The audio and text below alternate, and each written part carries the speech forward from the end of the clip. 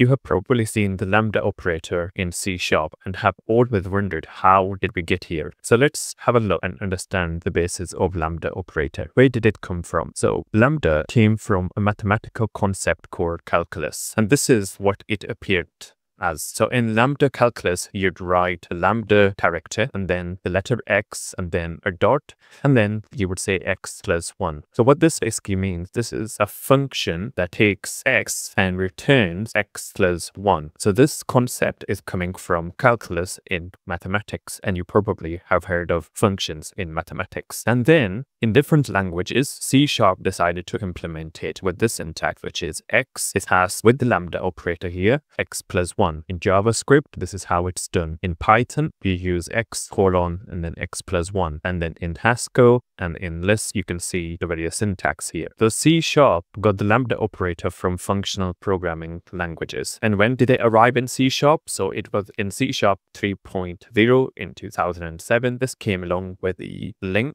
L-I-N-Q. And before that, it, you had to use delegates. So why is it so useful? Basically, the advantage is you do less typing. So you can write your function in line, it's more readable as you get used to it. So this is how it evolved. First, when you had to use the LINQ method, you could actually use a full method here. So here we're defining a method is adult, takes in a person class, and then returns the person's age. But then Microsoft changed that and said, why don't we use anonymous functions, which is a function that doesn't have a name. So they used the keyword delegate and passed it a person class and then did some checks. And that was known as anonymous function function. An even shorter syntax was lambda operator. So that you supply an object like the person here, but without naming the class, you just specify the argument. So here we've got the P and then that gets passed over here and then you do your checks over here and then the output is passed out to the where function. So that's why in your code here today, you see the lambda operator. And I just wanted to share with you where it came from. It basically came from calculus. This is how it was written in mathematics and then C sharp, of course, wanted to use the Lambda operator and you can see how JavaScript implemented it and so did Python.